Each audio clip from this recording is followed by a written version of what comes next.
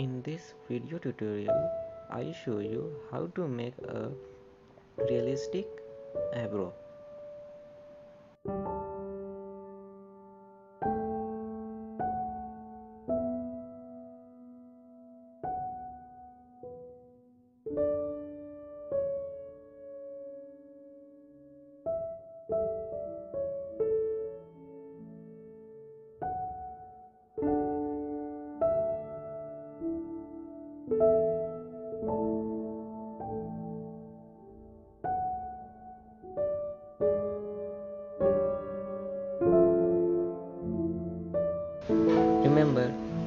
They are growing in various directions in few rows and they are of various lengths.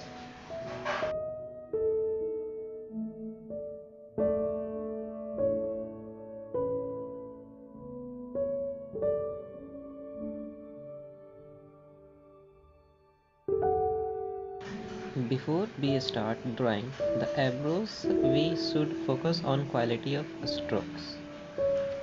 While drawing the individual hairs, drawing thick and straight definitely looks so realistic.